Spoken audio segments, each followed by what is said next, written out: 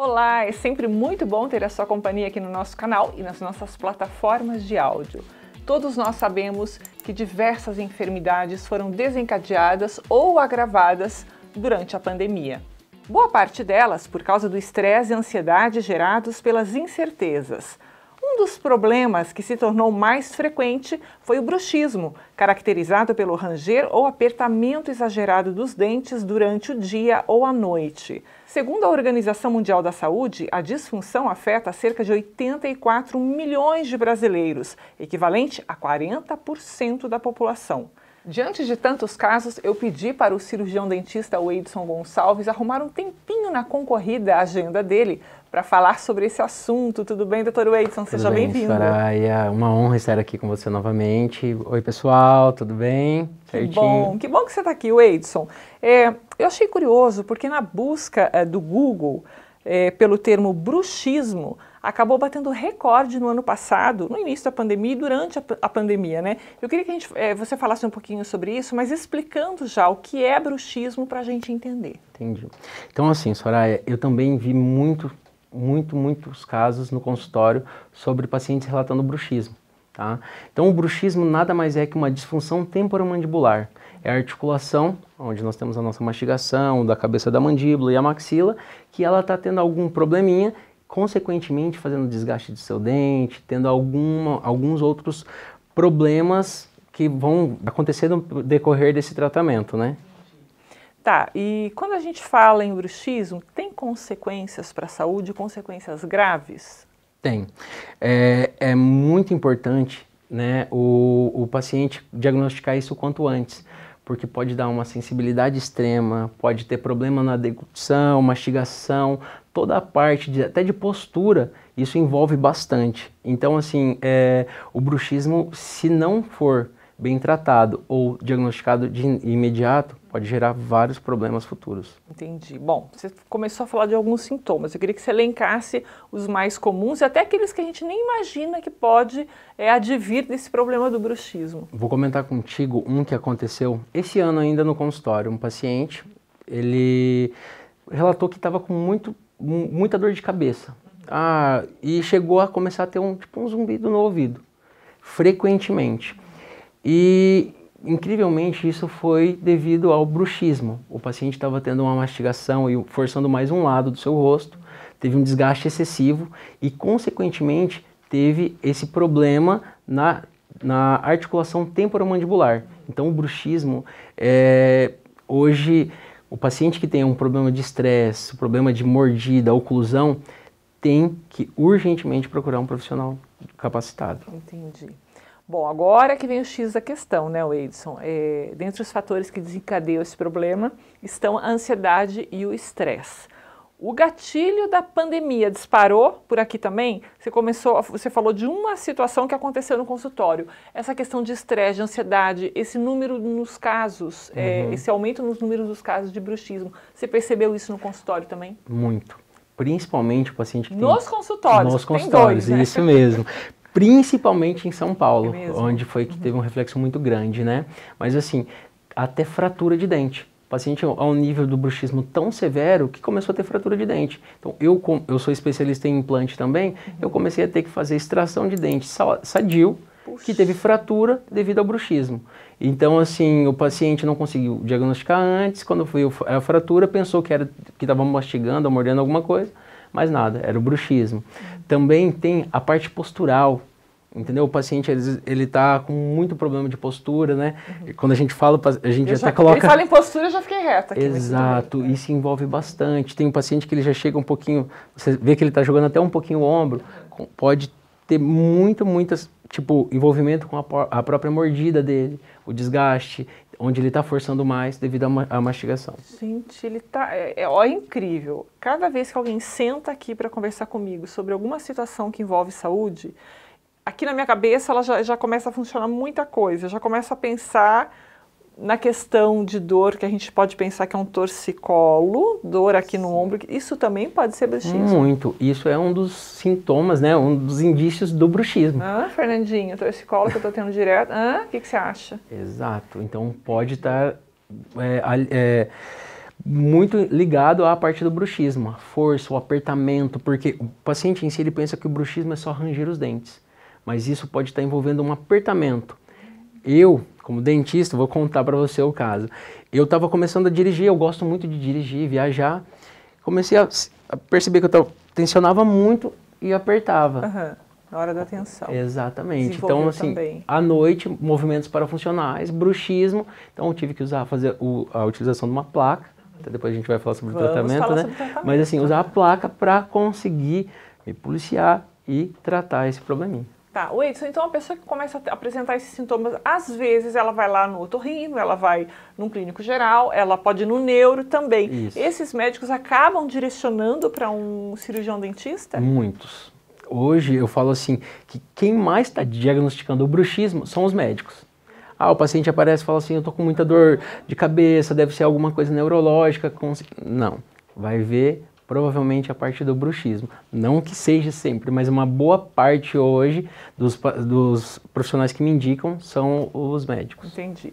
Bom, a gente está falando aqui de estresse, de pandemia, isso afeta, afeta todas as áreas, né, todos os campos da saúde, principalmente a saúde mental. Eu quero saber de você. É, como é que você e sua equipe estão lidando com essa situação de baixar o risco do contágio do coronavírus? Né? A gente está aí numa fase, graças a Deus, de avanço com a questão da vacinação, é, estamos confiantes. Eu quero falar das coisas boas dessa era também. Como é que vocês é, se adaptaram? Como é que está a rotina de vocês para receber o paciente nos consultórios? Soraya, assim, hoje igual você falou, vamos falar da, da, da parte boa, que é a parte é. mais difícil a gente está vivenciando é, já. E né? a parte ruim, a imprensa, de modo geral, já está falando muito sobre muito, isso. Muito, né? muito, muito. Então todo mundo já sabe dessa é. parte. Mas hoje eu vejo assim que no meu consultório eu consegui rever algumas coisas que eu acabei perdendo no decorrer do tempo. O que, que é? O meu paciente chega, você tem aquele cuidado dele, tipo, como é que tá, se é, tá tomando a medicação, teve isso, como é que tá sentindo uma dor temporomandibular, passou, pegou o Covid, to, tomou a vacina e dá toda essa parte de instrução. Uhum. Eu falo que o momento hoje a gente está tão frio com algumas coisas que quando a gente dá esse carinho, dá esse respaldo, o paciente ele começa a se sentir mais confortável e perde aquele, é, aquele bloqueio que ele já chega assim mais frio no consultório. Então ele acaba é, dando mais confiança até claro, para nós. É então, acolhimento, né? Ficou mais humanizado ainda o atendimento. Isso. E eu mesmo, assim, eu tô, tô tentando o máximo trocar uma ideia com o paciente, pego o número particular dele, ligo. Que legal. Eu, eu falo assim que muita gente fala, em grande escala, como é que você vai conseguir fazer isso? Mas hoje em dia a gente tem tanto sistema, tanta, tipo, é, a tecnologia, até mesmo programas, você encaminhar um link por um WhatsApp para o paciente que está para tô com dor de cabeça. Você encaminha esse vídeo. Uhum. Pô, nossa, eu tenho todos os sintomas que o, o Dr. Wade e a Soraya falaram. Será que eu não tô com bruxismo? Doutor, posso ir aí? Ele já deu uma legal, né? triada com relação a essa parte do tratamento. Isso, informação é tudo, né? Vamos Entendeu? falar boa informação. Bom, vamos voltar a falar aqui. Diagnosticado o problema do bruxismo. Quais os tratamentos que existem hoje é, no mercado para os casos, aqueles casos mais simples até aqueles, aquelas situações mais invasivas, Wade? Ca os casos mais simples é desde uma placa mil relaxante. O que, que seria essa placa mil relaxante? Ela vai colocar todos os dentes em oclusão, onde o paciente vai ter um conforto da mastiga, da, de uma da, dessa articulação, então vai acabar relaxando mais. A parte ortodôntica, um aparelho para colocar os dentes na posição correta, para ele ter uma mordida, ter um, tipo, estou em casa, estou relaxando, meus dentes estão todos posicionados corretamente, não está tocando um, o outro deixando de tocar.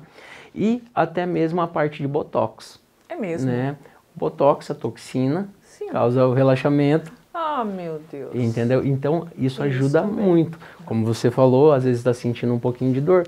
aplicaçãozinha de um botox leve, sutil, um profissional que você confia, vai resolver isso. É bem interessante. Agora, falando um pouquinho mais a fundo, igual eu comentei desse paciente que estava com um zumbidinho, uhum. é, é um caso que a gente tem que dar um pouco mais de atenção, que pode ser que tenha que evoluir para uma cirurgia. E isso se torna um pouco mais complexo.